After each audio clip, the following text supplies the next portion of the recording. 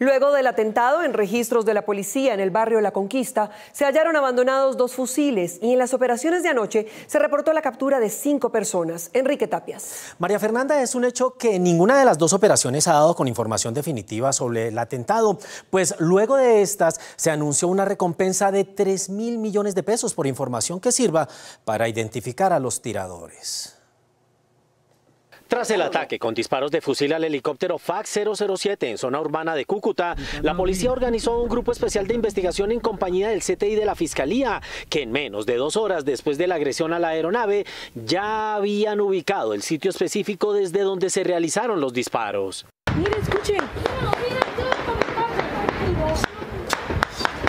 Antes de las 6 de la tarde de ayer viernes, según la policía, ya sus unidades especiales habían encontrado en el noroccidente de Cúcuta las armas con las que supuestamente se hicieron los disparos contra el helicóptero en el que se movilizaba el presidente. En un barrio cuyo nombre es La Conquista.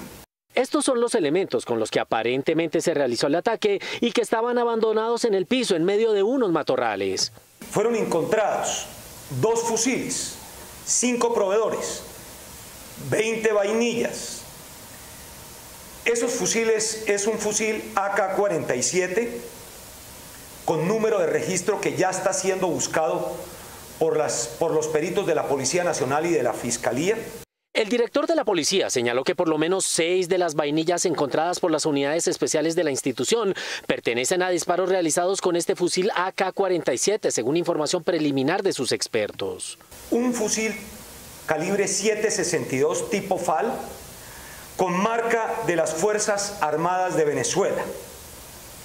De las 20 vainillas percutidas encontradas en el lugar de los hechos, 14 de ellas pertenecen al fusil FAL preliminarmente Además de este material encontrado y relacionado por la policía con el ataque, las autoridades también hicieron durante la noche 16 registros en la zona, dos allanamientos y la detención de cinco personas con el aval de la Fiscalía para ser identificadas e interrogadas sobre los hechos.